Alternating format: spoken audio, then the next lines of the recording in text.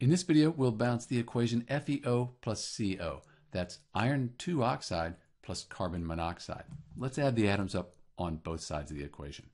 We have Fe, iron, we have one iron.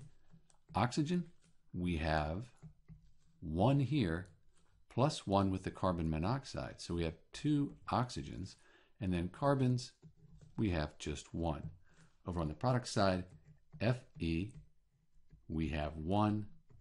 For the oxygens, we have two. And then for the carbon, we have one.